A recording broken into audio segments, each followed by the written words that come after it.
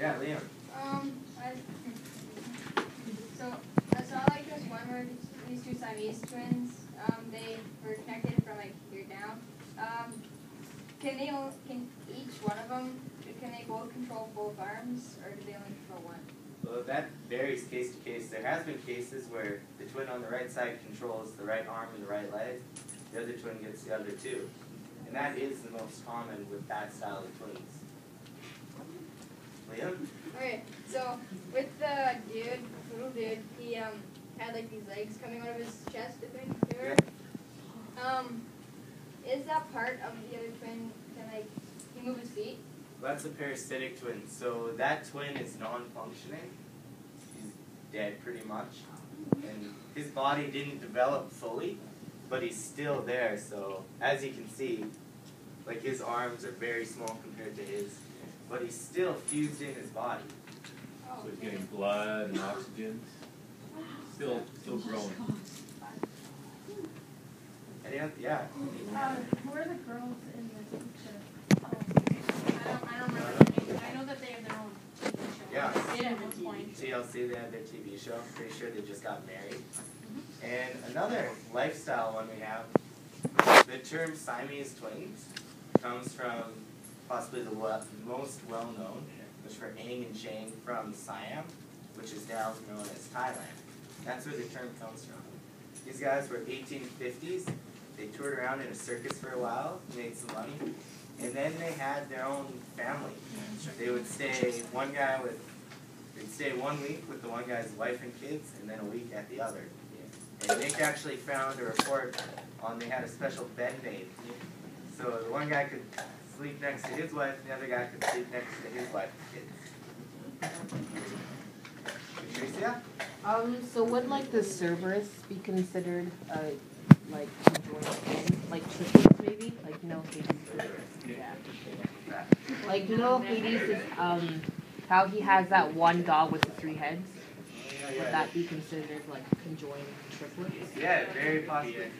Because in ancient times, they had when these things came out, they had no clue what they were.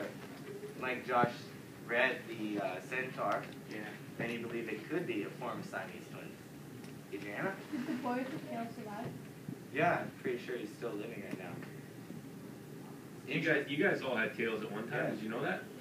Yep. Yeah. When you were developing, you all had tails, and then you lost them. Yeah, it's Yeah. a. Some of you, you talk about that in grade nine. the tailbone? No. Yeah, it is. That's why it's called it, Leo. Oh.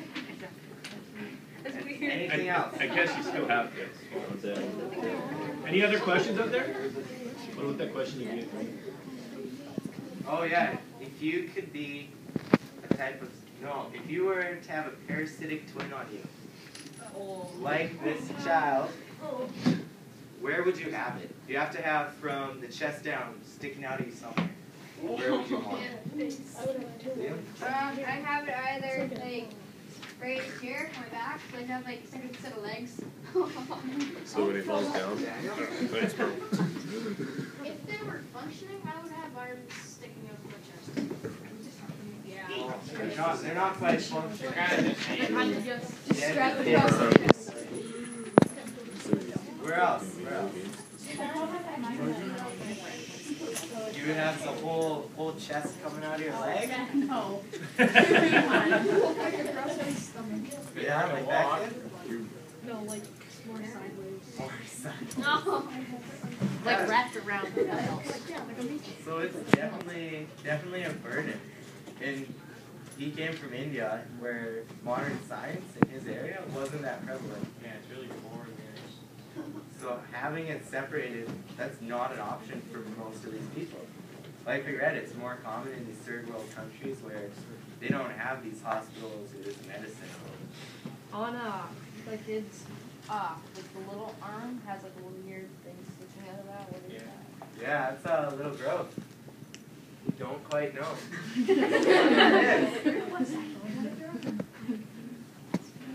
Go home, research it.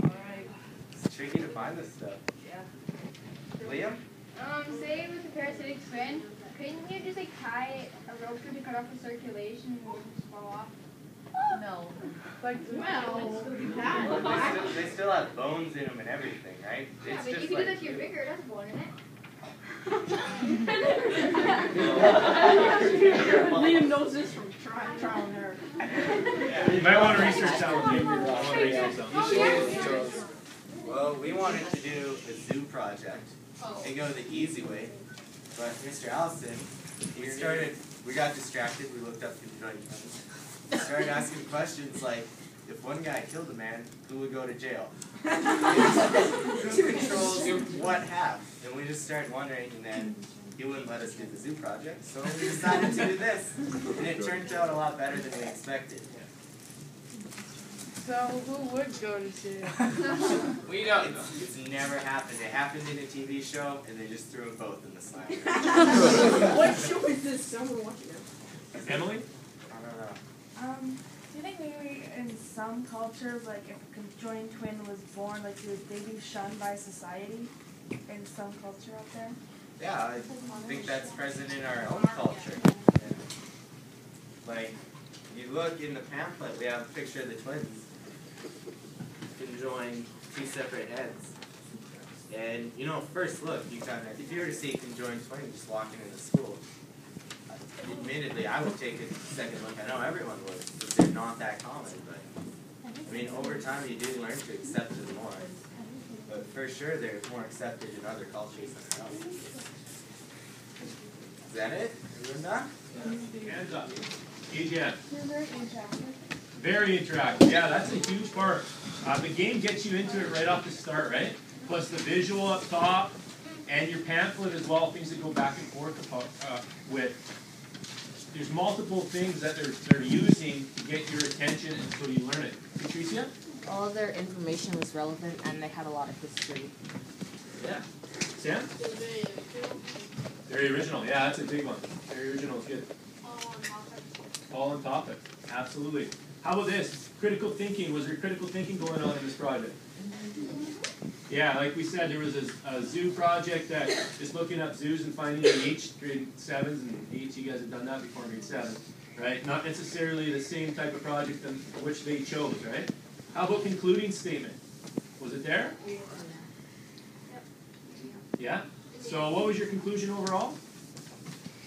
Overall, the conjoined twins are just an amazing mutation in nature, and scientists are slowly learning uh, how to deal with them and slowly learn more about them. Awesome. So a, a clear concluding statement is present here, right?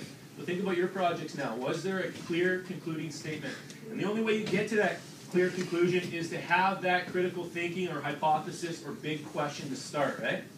So on your next projects, you got to kind of think, okay, this is what we're trying to get to.